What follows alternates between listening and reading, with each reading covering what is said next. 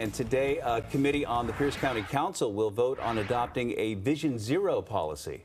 It's a nationwide movement to eliminate traffic deaths and serious injuries by 2035. Fox 13's Brian Flores is in the newsroom to tell us about it. Hey, Brian.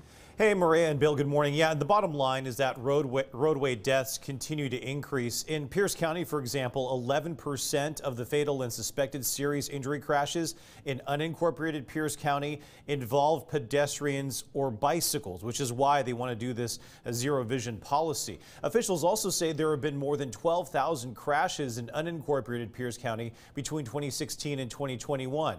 520 people died or were seriously hurt, with a big jump 50 58% happening between 2020 and 2021. One recent example, Michael Weilert here, who was hit and killed while biking on a crosswalk in Parkland last month. His family says he pushed the button and waited until traffic stopped but the driver didn't. That crash is still under investigation and it may take months before we learn if the driver will face charges. Now, the full council does have a date scheduled to review this proposal later this month. Right now, as we mentioned, it's in committee. If approved, the Planning and Public Works Department will have two years to present their finished plan to the council. In the newsroom, Brian Flores, Fox 13 News.